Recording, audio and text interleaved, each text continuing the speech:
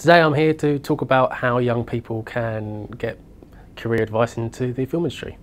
Uh, today's been really fun. Uh, we've had some really interesting questions from the young people calling in and we've had some other great people on the couch so we've been having some great conversations. The one piece of advice I would give to someone else who wanted to follow my footsteps would probably be to be tenacious and try really hard and keep trying because you won't succeed to begin with, but eventually you'll definitely get in there. And then once you've got your foot in the door, then you can show them uh, your fantastic skills. So when I started in the industry, um, I started off at the bottom. I started working in art department stuff, started being a runner, started working on lots of different short films. And the key thing for me was to ask people questions. I, I wanted to ask everyone on the set the things that I aspired to do or didn't understand. I would ask and I would note them down and then I'd go back and research them. So I'd almost do my own uh, research into how I could do this job. So I went to Essex University and I studied drama and uh, did that for three years. And while I was studying drama, I also joined a, a film group local to me and started learning um, how to sort of work on short films really. Okay, so the most famous person that I've met, uh, probably Ian McKellen. Um, I was a talk at Equity. Uh, obviously Miriam Margolyes is in my last film. Uh, Asa Butterfield I worked with on the project and we, we play uh, we play Overwatch.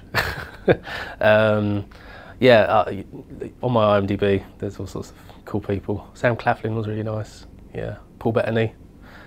Okay, so the sort of people that inspire me would definitely be directors like uh, Stanley Kubrick and Zack Snyder. Um, but actually, one of the main things I take influence from is uh, fine art. So I like going to art galleries, looking at the sort of Italian Renaissance paintings, look at see how they uh, depicted life, you know, because they've got still life, and in there they've got so much going on with uh, the interesting uh, lighting styles and so much chaos and you know, pleasure and pain and all the sort of things. And then they're all the things that you really want to capture in front of the camera, even when you're doing stills work. You just translate that into a, a moving scene.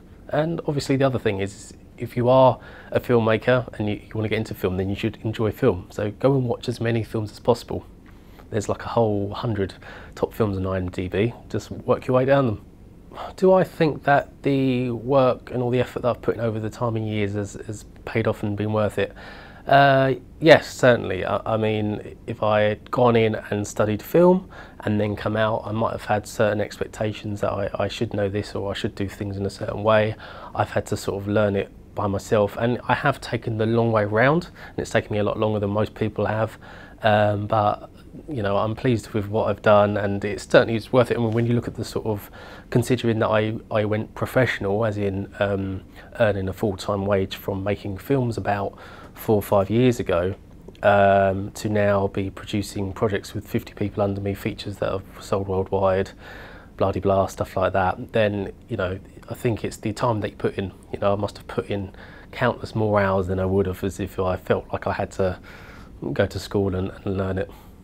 One of the things I always think about, and it's a quote that I've heard and people have probably seen it shared around on social medias, but it's something like you can spend every day doing something that you hate, so why not try and you know, you get paid for something that you hate, so why not try and do something that you love, even if it means, you know, giving something up.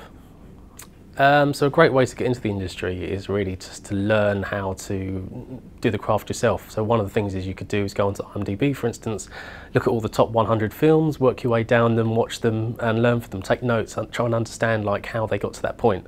And for instance, you can look on my IMDb. Uh, you just type my name in, Jamie Weston, uh, or you can Google it, Jamie Weston Film, and stuff comes up. You know, you could have a look, uh, look on my website, and there's loads of other social media links. So you know, give me an add and ask me some cool questions.